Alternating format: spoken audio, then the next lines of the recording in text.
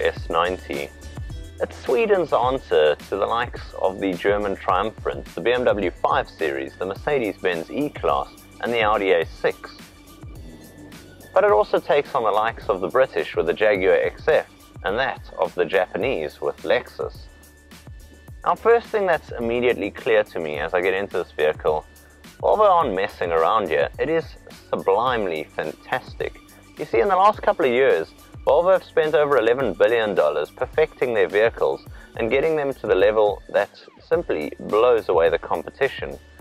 Therefore, the new S90 feels a lot like the XC90. It is incredibly comfortable. It's also very elegant to look at. Just take a look at the styling from the outside. It's a really good looking product and it really does scream executive limousine. Now when you have a look at it on the inside, you'll notice that the Volvo is also incredibly beautiful. Done with a kind of Swedish elegance and simplicity.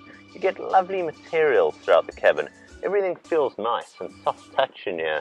And I love all the styling. Take a look at the steering wheel, for example.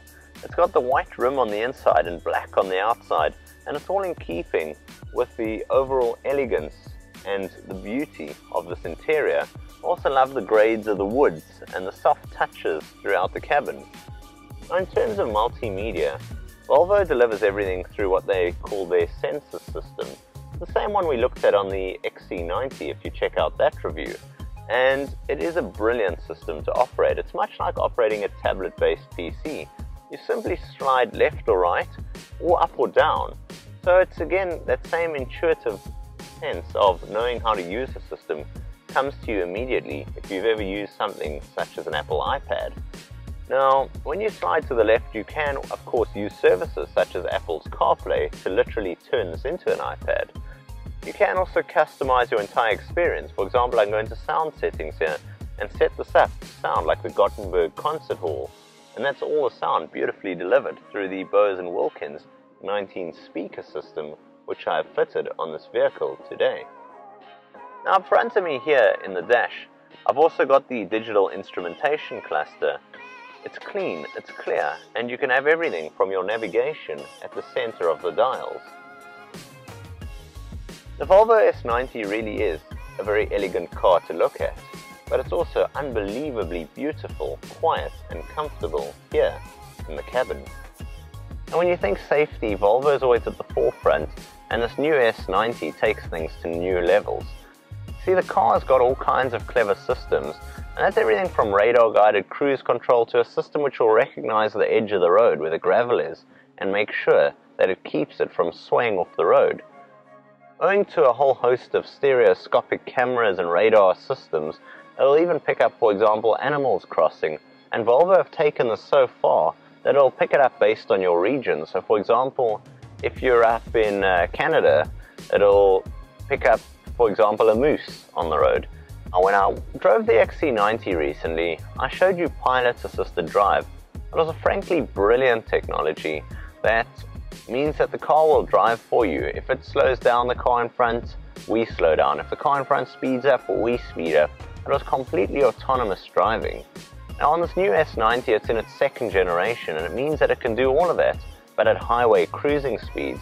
You see at speeds of up to 130 kilometers an hour the Volvo literally takes over. Right now my hands aren't on the wheel, my feet aren't on the pedals and just with the slightest touch occasionally of the steering wheel it'll keep the system active. Now this is really amazing technology because I've driven now many kilometers on highway cruising conditions and the whole way I've never had such a relaxing drive. It basically is like being driven by the Volvo. Incredibly spacious and comfortable interior that's seated up front here or back there in the rear passenger compartment. Let me jump across and show you what I mean.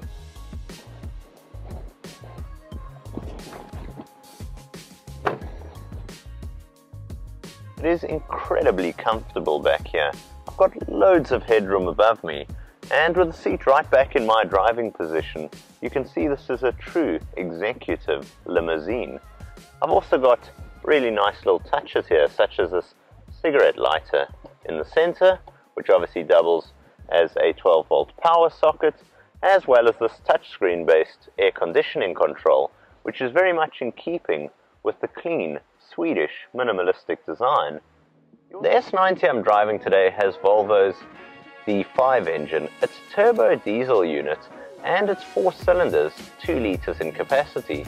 It produces 173 kilowatts of power and 480 newton meters of torque. But the amazingly clever part is it's got something which Volvo have patented here, known as power pulse technology. What this means is that as you drive along, if it uh, needs to get the turbo going, where most cars it's nothing, nothing, nothing, then suddenly a shot from the turbocharger. In this case, it's using a electrical drive unit which keeps a bit of compressed air going. So at low speeds, it shoots it into the compressor and means that there is absolutely no turbo lag. This is an incredibly clever system and it really does work.